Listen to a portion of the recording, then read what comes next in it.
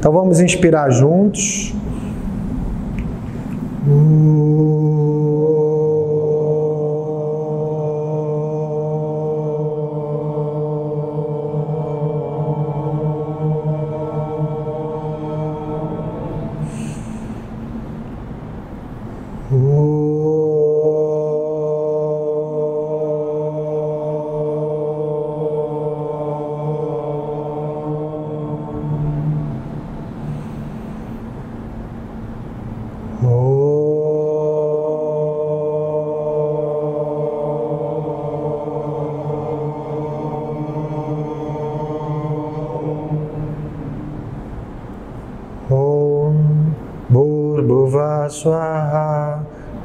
Savitur Varenyam Bargo Devasya Dimahi Diyo Yona Prachodaya Om Bhurbhuva Swaha Tat Savitur Varenyam Bargo Devasya Dimahi Diyo Yona Prachodaya Om Bhurbhuva Swaha Tat Savitur Varenyam Pargo Devasya Dimahi Diyo Yona Prachodaya Om Shanti Shanti Shanti Namastê.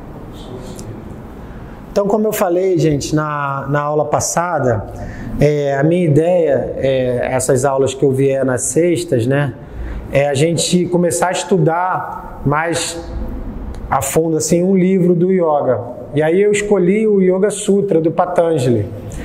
Lembra que eu falei com vocês, né? O Patanjali é essa imagem, a gente falou um pouquinho que ele é metade homem, metade é serpente na parte mitológica da Índia.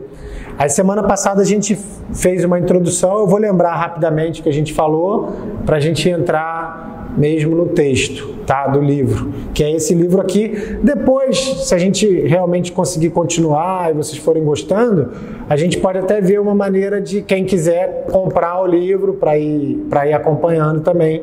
É um livro que não é do professor Hermógenes, é da professora Glória Rieira que é de Copacabana. Ela estuda e ela lê direto do sânscrito, então ela vai explicando, tá? Mas então lembra que a gente falou que o yoga ele vem dos Vedas, né? Que são aquelas escrituras mais antigas da Índia, onde todo conhecimento está contido nos Vedas. E os Vedas eles não foram escritos por ninguém. É contado no, no yoga, na mitologia, que os Vedas foram recebidos em meditação. Alguns sábios entraram no estado de meditação e acessaram esse conhecimento dos Vedas. É, eu não lembro se eu contei na aula passada, mas eu tive numa palestra do físico quântico e ele, ele reforçando que tudo que a física quântica hoje mostra, né, que não existe matéria, que é energia, que tudo é, é a força do pensamento e tal, isso já estava descrito lá há mais de 10 mil anos nos Vedas, tá? E ele falou isso, o cara é físico quântico, ele reforçou, isso nada da física quântica é novidade, isso já existia na cultura da Índia, nos Vedas, isso já estava lá explicado. Então o yoga ele vem dessa, desse berço, ele nasce ali. Só que o yoga da mais tradicional na Índia não é o yoga como a gente entende aqui. Aqui no Brasil, o yoga ficou muito ligado à postura física, aos asanas, né, que a gente faz aqui. Né? Esse é o yoga mais conhecido fora da Índia, né, no mundo assim. Só que na Índia esse yoga nem é tão grande assim. O yoga lá ele é considerado uma escola de pensamento, um caminho de pensamento, um caminho espiritual. Por quê? Porque a palavra yoga ela quer dizer união.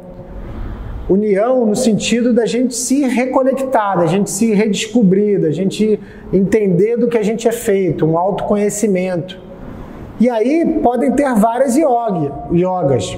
Pode ser a yoga mais ligada à meditação, pode ser a yoga ligada ao estudo, pode ser yoga ligada às posturas, pode ser yoga ligado ao, ao digamos assim, né, mal traduzido, ao serviço voluntário, né, a yoga da ajuda, de ajudar as pessoas. Até falei da Madre Teresa. Madre Teresa é considerada uma yogi. Ela busca a conexão dela, o caminho para Deus, a, a, realização dela, ajudando os necessitados. É um caminho também, é uma yoga, tá? Aqui a gente ficou mais restrito ao Hatha Yoga, aqui que eu digo no Brasil e no Ocidente como um todo. Só que eu venho sempre falando nas aulas, o yoga não é só posturas, o yoga não é só posturas. A parte talvez filosófica e da meditação tem um poder ainda maior do que as posturas. Isso não sou eu que estou nem dizendo. O próprio professor ele fazia uma, uma comparação. Ele falava que é igual o iceberg, né? O asana é aquela parte que a gente vê fora d'água, né? Que todo mundo consegue ver. Mas o iceberg imerso ele é muito maior do que o que está fora. Né? Qualquer iceberg só tem uma pontinha de fora. Lá, lá embaixo ele é várias vezes maior. E o yoga é um pouco assim, a gente vê a postura, mas a parte filosófica, o estilo de vida, ele é muito maior do que só as posturas. Então a meditação, isso que a gente faz aqui na sexta-feira, de estudar, de falar sobre meditação, os outros professores também, isso é yoga. Tanto quanto as posturas, isso também é yoga. Tanto que ó, tem gente aqui da turma de sexta mais cedo, às vezes eu falo assim: se você tiver que escolher vir só na meditação ou só na postura, vem na meditação. Falta um dia a aula de posturas para poder vir na meditação. Porque às vezes a pessoa tem horário de trabalho, né? Aí não consegue ficar nos dois. Eu falo, ó, deixa de vir na, na postura e vem na meditação. Às vezes é mais importante. O, na verdade, o Hatha Yoga ele prepara o corpo e a mente para estudar, para meditar. Então ele seria uma ferramenta para a gente se preparar para poder entender, tá? Então lembra, eu falei os Vedas, e aí os Vedas são divididos na parte de ação, que é o Karma Kanda, e na, na parte de conhecimento, que é o Dhyana Kanda, que é a parte que a gente estuda que é o Vedanta. Não sei se vocês já ouviram falar, mas Vedanta quer dizer a parte final dos Vedas é a parte filosófica dos Vedas. Aí tem uns, uns textos que chamam Upanishad. O que é Upanishad? É sentado aos pés do mestre. Essa palavra quer dizer isso, sentado aos pés do mestre. Então, era uma tradição, antigamente na Índia, ensinada de mestre a discípulo. De mestre a discípulo. Então, você tinha que sentar, escutar, refletir para poder entender. O Yoga Sutra faz parte dessa tradição de textos, de mestre e discípulo. Então é como se o mestre estivesse dando a aula e nós, como discípulos, estamos estudando esse, esse texto, tá? No caso do Yoga Sutra, é o Patanjali que é o mestre. E aí, lembra que eu falei com vocês que ele explica em sutras, em, em frases curtas mas que tem um significado bem profundo.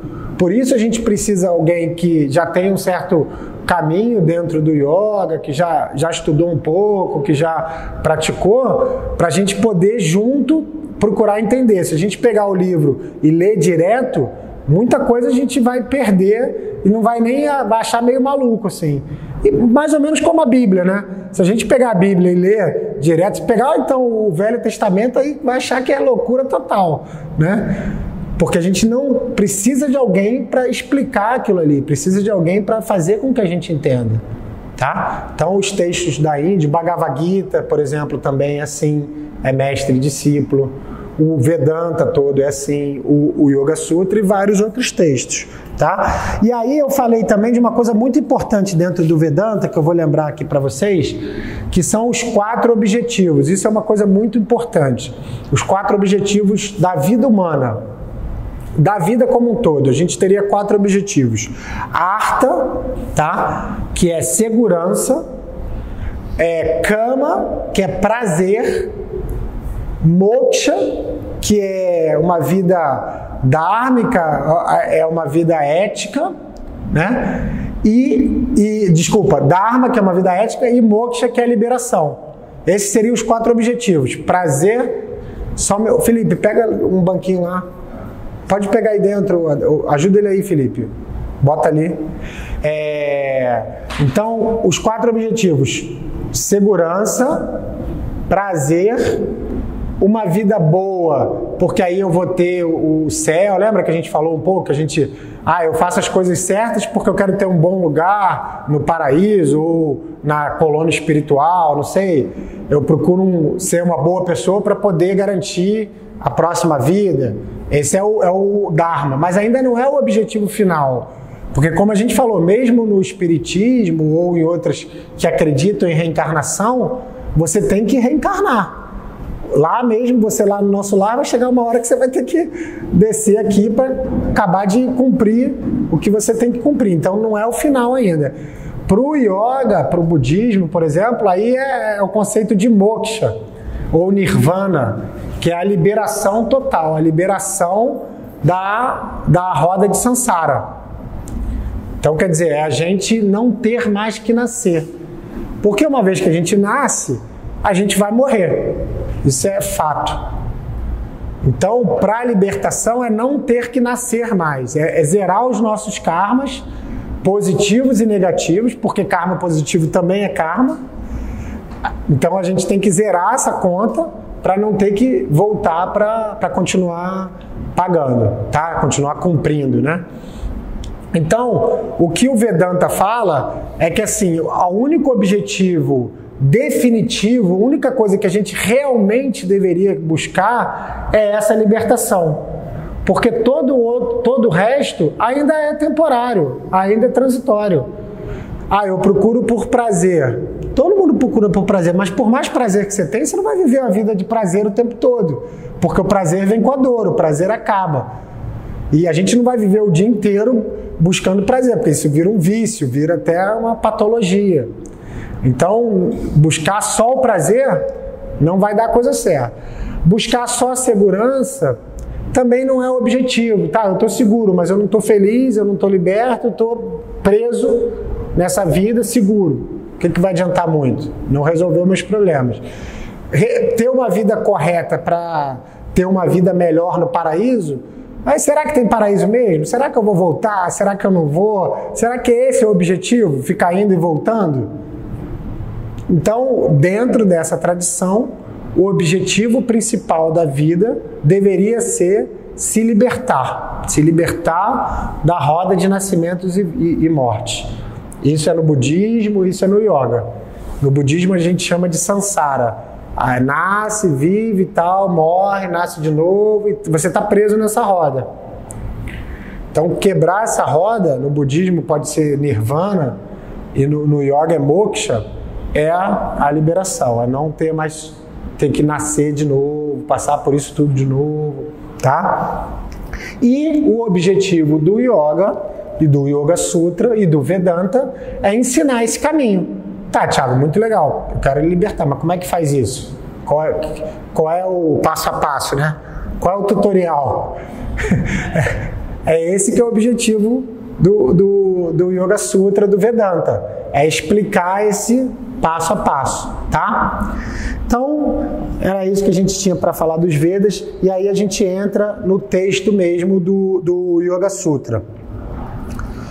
Aí, como eu falei, ele começa é, com um sutra que é bem importante, tá? Ele, eu vou falar em sânscrito, eu não vou, não vou cantar nada, porque eu não, também não sou um especialista assim, em sânscrito, mas ele fala assim: Ata Yoga no Shasanam. Isso é em sânscrito, tá? Então, em português seria mais ou menos assim: agora a gente vai começar a estudar o yoga primeiro sutra do livro parece bem óbvio, né? Agora a gente vai falar o que, que é o yoga. Mas não é tão óbvio. Por quê? Porque esse, essa palavrinha só, lembra que eu falei que tudo que está num sutra é uma palavra muito importante. Não tem nada dentro de uma frase dessa que seja para preencher o texto, para aumentar o texto. Ele só usou palavras com grande significado, porque é a, é a frase mais curta possível tá? Então, quando ele fala agora vamos começar a estudar yoga, a gente pode pensar, mas para que, que botou agora, né? O yoga é isso, já podia. Só que esse agora, ele tem uma, uma, uma, uma explicação muito interessante. Agora que vocês já estão prontos, agora que vocês já praticaram o Hatha Yoga, agora que vocês já meditam, agora que vocês já sabem um pouco do que o yoga fala, agora que vocês têm um pouquinho de bagagem, agora a gente pode se aprofundar no yoga. Então mostra que não é um texto para a gente. Ah, eu comecei no yoga hoje, eu vou ler. Não é isso. A gente tem que ir tendo uma vivência de meditação, de yoga, principalmente uma prática para a gente poder ir tentar esmiuçar. Que não é fácil também, a gente vai junto nesse desafio, mas a gente vai entendendo aonde que ele quer chegar, tá? Então esse atalho tipo assim, tá pronto? Tá, você quer? Porque isso é importante também. A gente tem que ter, é, é tem que querer o conhecimento, tem que confiar no texto, tem que confiar no mestre, tem que acreditar que aquilo faz sentido. Porque se a gente vem para uma aula dessa de, de, de, filosofia do yoga e acha que, ah, não, o que eu gosto mesmo é, é fazer asana, isso tudo aí é, é historinha, não, não, não acho legal, é melhor não vir, porque não, não tem sentido. A aula, a meditação, o estudo é para a gente conseguir ir aprofundando e levando para a prática da vida. Não é um estudo só filosófico, é um estudo prático. Ele vai dar coisas aqui, passos bem práticos. Mas a gente tem que querer buscar esse conhecimento, tá? Então esse atá é isso. Atá yoga no não. Agora, então, o ensinamento do yoga. Esse é o Sutra 1. 1.1, que é capítulo 1. Ah, eu não falei para vocês, desculpa. O capítulo 1 começa Vou mostrar aqui para vocês. É o Prato Dhyana, ou seja, é o capítulo que ele vai falar o que, que é o yoga e o que, que é meditação. Tá? São quatro capítulos. Então, no capítulo 1, um, ele vai começar a explicar diretamente o que, que é o yoga. Tá? E aí, vamos no Sutra 2. Esse Sutra é o Sutra. O, o 1.2 é o mais importante de todo o livro. Calma aí eu... Aqui. Tá? Todo o livro está resumido nesse sutra. Ele vai explicar exatamente o que é o yoga na visão desse mestre, na visão do yoga védico, tá? Então ele fala assim: Yoga Chitta Vitri Nirodha. O que quer dizer isso? O yoga é o controle dos movimentos da mente. Então percebeu? Ele não falou que o yoga é postura A, B ou C, o yoga é pranayama, o yoga é meditação. O yoga, vou repetir, é o controle dos movimentos da mente. Então, tudo que a gente faz no yoga, o foco deve ser o controle dos movimentos da mente. E o que, que quer dizer isso? Acalmar os pensamentos, ter uma mente mais clara, uma mente mais presente atenção plena. Lembra que a gente fala muito, né, que a nossa mente é muito agitada. Os próprios mestres, eles dão um exemplo que é um macaco bêbado numa loja de cristal. É a nossa mente. Olha o estrago que faz. É um macaco bêbado dentro de uma loja de cristal. Então a gente tem que aprender a controlar essa mente, a direcionar essa mente. Se a gente deixar a mente solta e, e muito acelerada do jeito que a gente é hoje, a quantidade de pensamento, de informação, a gente não vai conseguir encontrar um equilíbrio, não vai conseguir encontrar saúde, não vai conseguir encontrar paz. Hoje, os mesmos psiquiatras, médicos, isso já é comprovado cientificamente. Aquele Augusto Cury, né, que é um escritor famoso, ele tem a tese do a síndrome do pensamento acelerado. É, diz que todos nós temos isso. É uma síndrome que a gente pensa tanto, tanto, tanto, que desgasta e adoece. Então, é, isso tem muito a ver também com a tecnologia, com a própria internet, né? A quantidade de informação que uma criança hoje, meu filho com 9 anos, tem, às vezes uma pessoa de 70 anos há, há décadas atrás, há 100 anos atrás, não tinha a vida inteira. E uma criança de 9 anos já tem. Isso é muito forte. Agora, essa informação toda está gerando transformação? Essa que é a questão. Porque a gente fica falando, ah, eu quero informação, informação, informação. O que, que eu estou fazendo com isso? Está melhorando a minha vida? Está melhorando a minha saúde? Está melhorando. Ou é só excesso de informação? O professor também tinha uma, uma coisa que ele falava: um asno carregando uma biblioteca nas costas continua um asno. Então não adianta a gente ficar buscando informação, informação, informação, informação, se eu não sei o que fazer com aquilo, se eu não sei colocar em prática, se eu não sei para quê. Outra coisa que o professor falava, não me faz diferença na vida saber quem foi o rei da França no século tal. Não saber qual é a tabela periódica de cabeça. Não faz nenhuma falta na minha vida. Agora, não saber quem eu sou faz total diferença na minha vida. Não saber quem eu sou faz total diferença na minha vida. E a gente fica acumulando essa informação que não vai levar a lugar nenhum. Porque hoje o Google responde a tudo, né? Tudo que você perguntar, ele responde. Agora, será que ele responde essas perguntas suas, né? Quem sou eu? O que, que eu vim fazer aqui? As perguntas importantes da vida, da sua vida, o Google que vai responder? Será que vai funcionar? Então, o, o yoga, gente, é um exercício, é uma filosofia, é um estilo de vida para a gente acalmar os pensamentos e, com isso, poder viver a essência que a gente já é. Isso é muito bonito no, no, dentro do yoga, porque o yoga não fala assim. É, Jesus também não falou assim. É, Vós sereis a luz do mundo. Ele falou: Vós sois a luz do mundo. Ele afirmou. Ele não disse assim: se você melhorar um pouquinho, você vai ser a luz do mundo. Ele falou: você, nós somos a luz do mundo. Não é fazer curso na Índia, não é aprender sânscrito, não é fazer curso de coach que vai te ser a luz do mundo. Você já é a luz do mundo. Você pode não ver isso. Aí já são outro, é um outro problema. Mas o yoga afirma isso categoricamente. A felicidade, a paz, a sabedoria, o conhecimento está já na nossa natureza.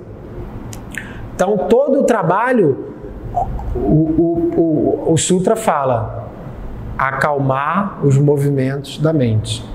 Se a gente acalma a nossa mente, essa natureza que já é, ela pode aparecer. Por que, que quando a gente faz um relaxamento profundo, que a gente consegue mesmo, né, no final da aula, relaxar, parece que a gente vai para outra dimensão, né? E a gente sai da aula tão bem, porque a gente acessa essa paz, essa tranquilidade, essa sabedoria que a gente já é. Porque quando a gente medita regularmente e a gente está lá em meditação e a gente sai da meditação tão bem, porque a gente em algum momento a gente acessa esse esse ser feliz e pleno que a gente já é. Ah, Tiago, mas por que, que a gente não vive assim o tempo todo? Essa é uma boa questão, porque a gente se distrai, porque a gente se perde, porque a gente fica batendo cabeça, porque a gente fica reclamando,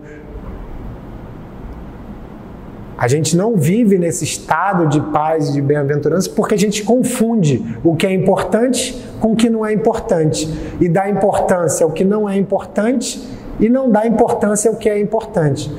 Não sei se deu para confundir ou para explicar, mas a gente a gente dá importância às coisas do mundo, às coisas da vida que são altos e baixos Hoje está sol, na sexta-feira passada estava chovendo, agora está calor, estava frio. A vida é assim, um dia eu ganho, um dia eu perco, um dia eu estou bem, outro dia eu estou resfriado. Isso não vai mudar. E eu fico ali me pegando. Ai, por que, que tá sol? Ai, por que, que tá chuva? Ai, por que, que eu tô resfriado? Né? Eu fico ali igual criança birrenta ali, reclamando de tudo. A gente dá importância ao que não é importante.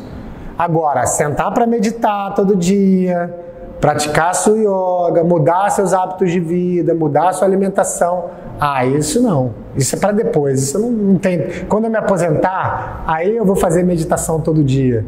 Quando eu, quando eu me aposentar, aí eu vou fazer exercício todo dia. Segunda-feira eu começo a dieta, né? É o Dia Mundial da Dieta. Segunda-feira eu começo a dieta. O que é importante, a gente bota para escanteio. E o que não é importante, a gente dá importância. Então é, é muito, muito louco isso, né? Você fala para a pessoa, gente, tem que meditar. Ah, não tenho tempo. Você tem tempo para quê então? Ah, não, tem tempo para ganhar dinheiro. Tá, mas ganhar dinheiro, perde dinheiro, ganha dinheiro, perde dinheiro.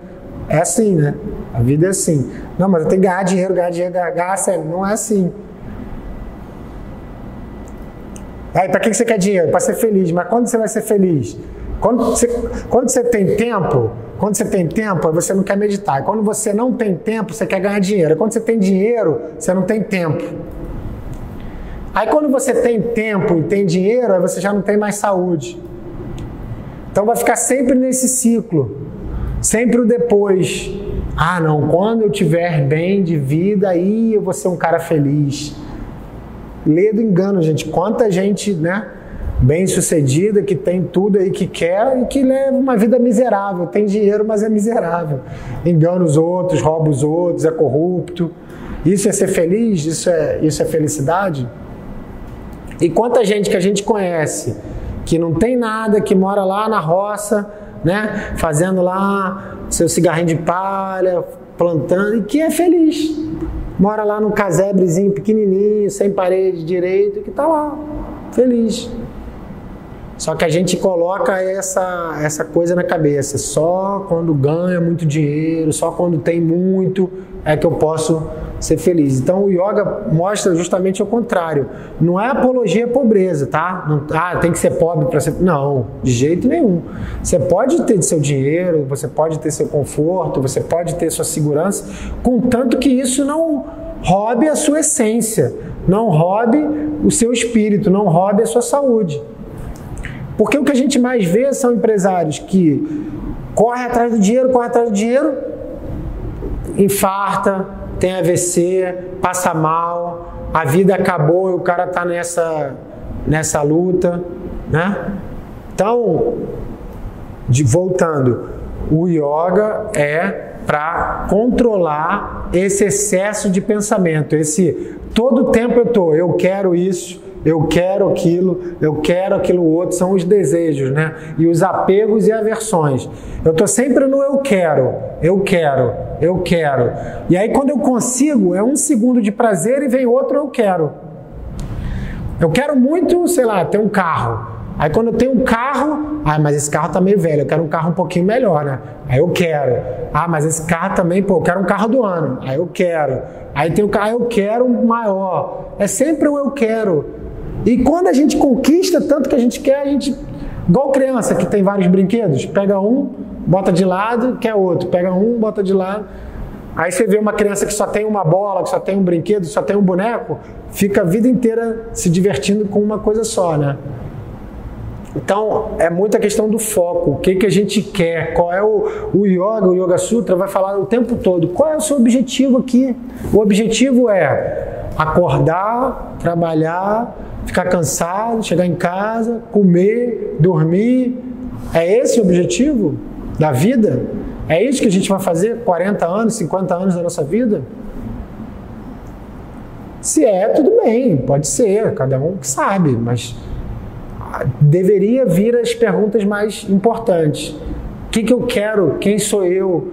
Aonde está minha felicidade? O que, que me faz realmente feliz? O que eu faço? Eu sou feliz com o que eu faço?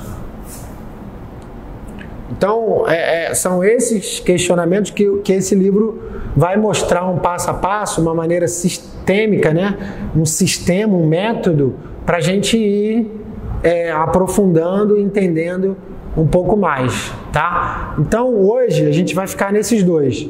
É, vou, ler, vou, vou ler de novo a tradução para a gente lembrar bem. Então, o primeiro, bem simples, né? Agora começa o ensinamento do yoga. Estou pronto, eu quero, eu sei o que é yoga, eu quero entender um pouco mais. Então, vamos junto tentar entender um pouco mais. Esse, desculpa, a gente vai voltar sempre Porque é o que resume. Se o cara escrevesse só isso, a gente deveria entender o que é o yoga. O yoga é acalmar os pensamentos. Por isso, o, o, a gente fala que às vezes essa moda do yoga muito atlético, muito agitado, perde um pouco o sentido do yoga. Se o yoga é para acalmar os pensamentos e eu boto na cabeça do sujeito que ele tem que ficar de cabeça para baixo 5 horas, tem que fazer não sei quantas torções, tem que praticar 10 horas por dia, tem que ser um atleta, eu estou criando mais uma, um condicionamento nele. O Hatha Yoga, leve, suave, tranquilo, respirando, se aproxima muito mais disso de acalmar os pensamentos, tá? Então, o yoga é o controle dos movimentos dos, da mente, tá? Isso é o yoga, isso é meditação. Por isso que a gente fala que yoga e meditação é a mesma coisa. O mesmo objetivo do yoga é o mesmo objetivo da meditação. É acalmar e controlar a nossa mente, tá? Então, a mente, o professor falava muito isso ela a mente mente. A mente ela te leva para onde você para onde ela quer. Ela controla a sua vida. Então, se você deixar ela solta, ela muitas vezes vai te levar por caminhos não bons. Vai te levar para situações contra você mesmo, né? Porque a mente é sempre naquele sentido de coitadinho, deixa ele, só hoje, só um pouquinho, ninguém tá vendo. É a mente que fala essas frases pra gente, né? Coitadinho, pô, você já trabalhou tanto, né? Qual o problema? Qual o problema é outro, né? Qual o problema? Então, a gente tem que estar tá atento. O yoga vai trazer a consciência para iluminar essa mente. Não, mente, olha só, desculpa. Não é você que manda aqui. Quem manda aqui é a consciência, é o ser. É, é, é o que está além da mente. Por isso se questiona um pouco essas teorias da, do poder da mente, a mente bilionária, o poder da mente, porque ainda é um instrumento ligado ao ego, ainda é um instrumento ligado a, a objetivos físicos, materiais. O yoga ele procura ir o passo além. O que está além da mente? O que, que ilumina essa mente? Quando eu falo a minha mente é porque tem alguém que a que a possui, alguém que a controla. Eu não sou mente. Se eu fosse mente, eu não falaria a minha mente. Eu não sou corpo, porque eu falo o meu corpo. Então a gente tem que descobrir o que, que é esse eu. Esse eu com, com E maior, né? O que, que é o eu? Quem sou eu? É a, é a, grande pergunta do yoga e da filosofia como um todo: é quem sou eu? Ah, eu sou esse corpo? Não, eu não sou esse corpo.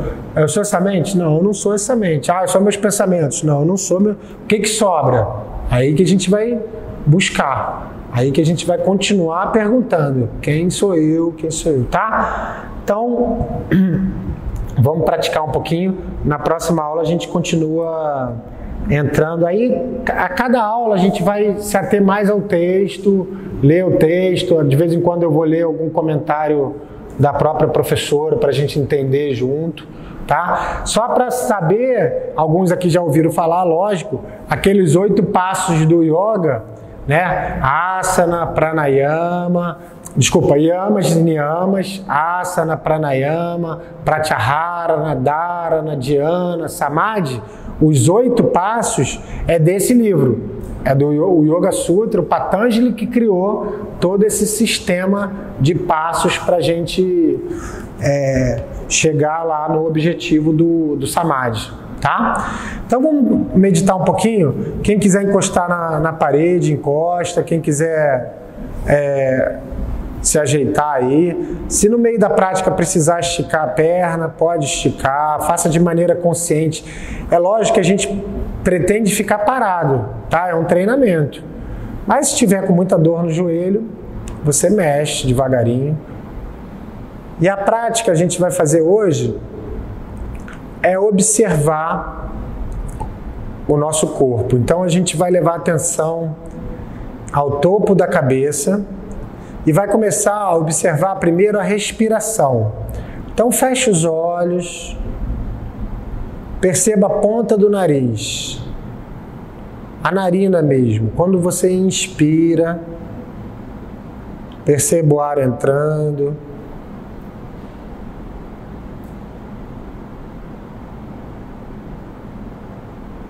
Quando você expira, perceba o ar saindo.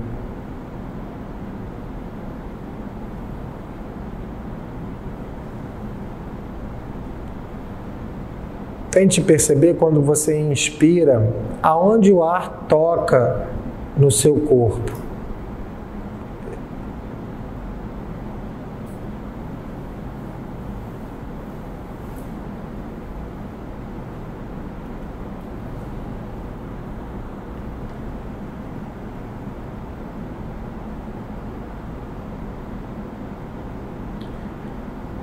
Perceba que quando você inspira, o ar entra mais fresco. E quando você expira, o ar sai um pouco mais aquecido.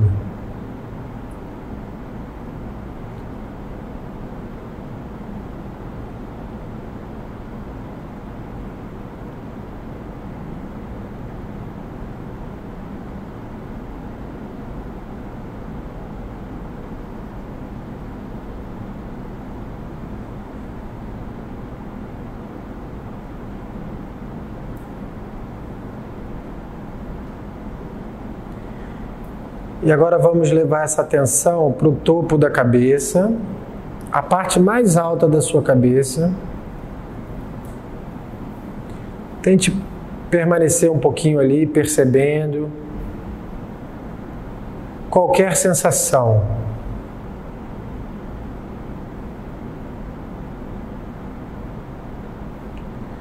Às vezes a gente sente um pouquinho de calor,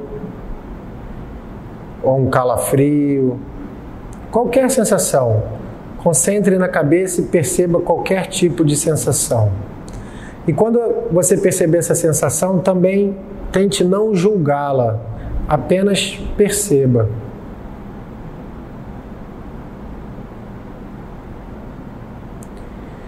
E a consciência vai descendo pelo rosto, o rosto é uma área bem sensível e a gente às vezes consegue perceber. A bochecha treme bem devagarinho, os olhos, um calor. Às vezes a gente sente uma energia, um calor no rosto.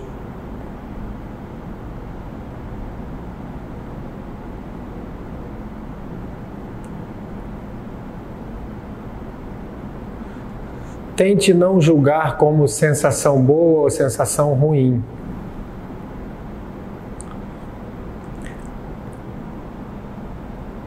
E vamos tentar ficar totalmente imóvel. E se você tiver vontade de se mexer, você primeiro perceba essa vontade. Não reaja. Um exemplo, se você sentiu vontade de coçar a cabeça, não coce de imediato. Sinta a coceira, perceba. Se for realmente necessário, você se mexe. Se der para passar, você passa. Leve atenção até a garganta, pescoço, ombros. Perceba a sensação nos ombros. Pode ser a própria roupa encostando no corpo.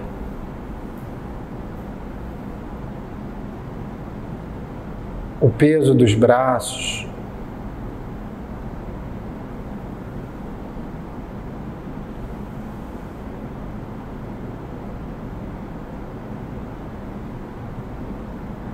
Vá descendo pelas mãos, pelo tronco, perceba seu tronco, sua respiração.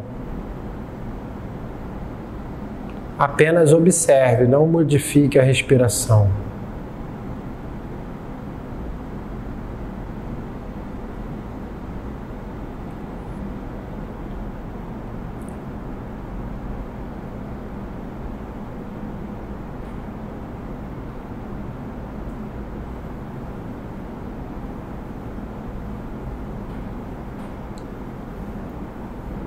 Vá descendo em direção ao quadril, virilhas, nádegas. Perceba o peso do corpo sobre as nádegas, sobre as pernas. Perceba as pernas, joelhos, pés.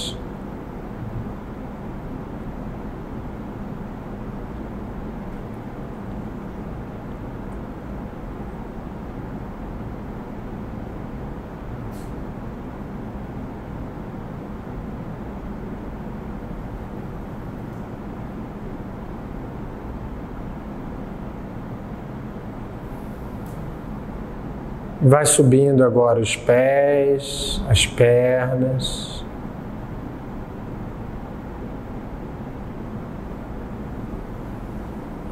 O tronco.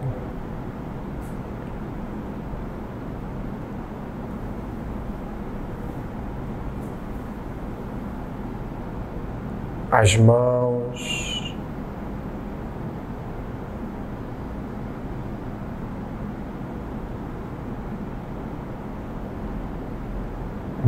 Braços, ombros,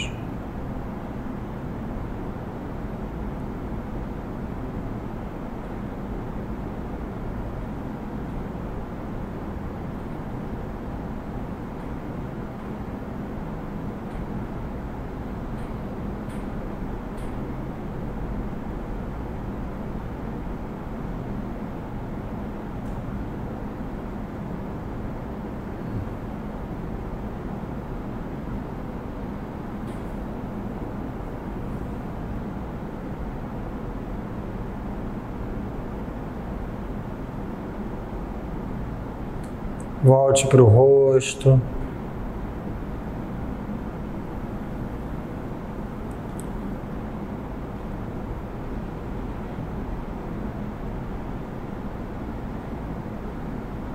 E a gente vai chegando no final dessa prática, a gente vai fazer uma prática que chama Metabhava, que a gente vai dedicar os frutos dessa nossa meditação a outras pessoas. Então você imagina uma pessoa Pode ser um parente, pode ser vivo ou desencarnado, pode ser um amigo, um conhecido, ou até uma pessoa que você tem alguma dificuldade. Quem você quiser. E você se imagina olhando para essa pessoa e você diz do fundo do seu coração que você se livre de todo sofrimento, que você encontre a paz verdadeira e que você seja muito feliz. E a gente dedica essa prática para essa pessoa, cada um pensa na pessoa. Se for confortável, você pode se imaginar abraçando essa pessoa e você repete. Que você se livre de todo sofrimento, que você encontre a paz verdadeira, e que você seja muito feliz.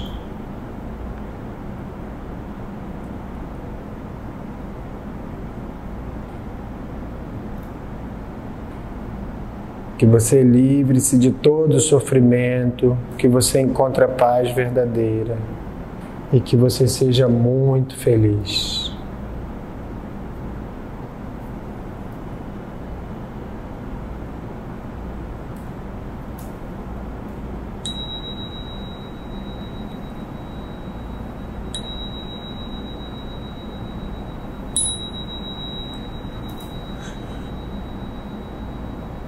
Então, faz uma respiração mais profunda.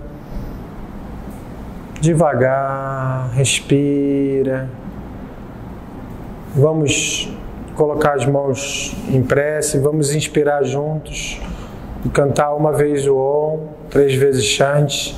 Shanti quer dizer paz, paz para todos os corpos, paz para todas as mentes, paz para todos os espíritos. Vamos inspirar juntos. Shanti.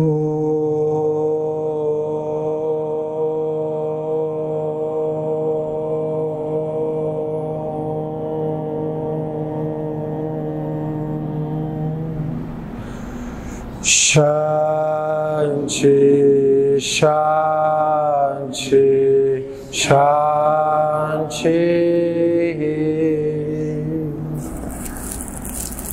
Namastê.